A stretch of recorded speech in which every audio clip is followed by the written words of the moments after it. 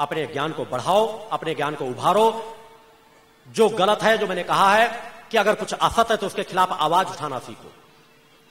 क्योंकि मैं समाज को केवल शांत का पाठ सिखाने नहीं आता, सख्त का पाठ सिखाने आता हूँ।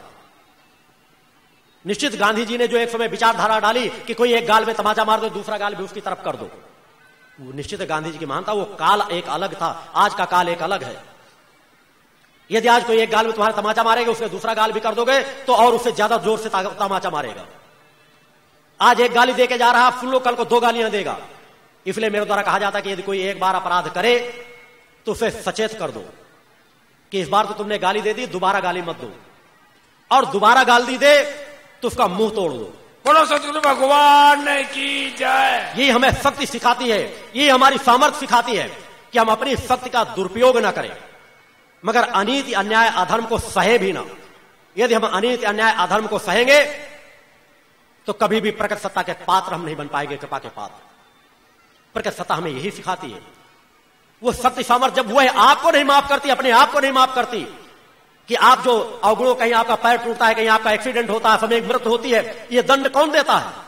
वही प्रकट सत्ता तो देती है। आपकी आत्मा ही तो देती है। फिर भी आप नहीं समझ पाते कि आत्मा कितनी न्यायप्रिय है। और उसी आत्मा के अंश। तुम न्याय करना ही नहीं चाहते।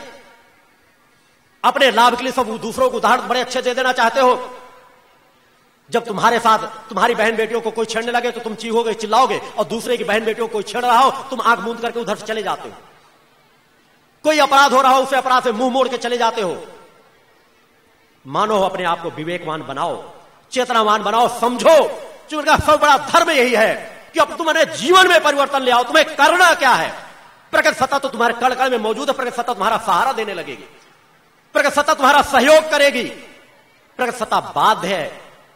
क्योंकि प्रकट सत्ता तो आपके अंदर समाहित है। केवल उसको पटल खोलने की ज़रूरत है। और पट खुलेंगे कैसे? जब तक आप कर्म में परिवर्तन न लाओगे। क्योंकि मैं जो कह रहा था कि संयोग, संस्कार और कर्म। क्योंकि कर्म से ही संस्कारों की उत्पत्ति होती है।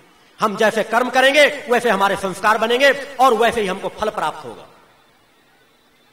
अतः इसलिए मैंने कहा है कि अपराधों को खुली आँखों से देखो, खुले कानों से सुनो और उसके खिलाफ आवाज़, मुँह खोल करके आवाज़ उठाओ। गांधी जी के बंदरों के समान नहीं कि अपराधों में आँख बंद कर लिया हमने कुछ नहीं देखा, चाहे कुछ होता रहे। कान बंद कर लिया हमको नहीं सुनना। मुँह बंद कर लिया हमको कुछ नहीं कहना। यह सिर्फ़ बंदरों के लिए उदाहरण है।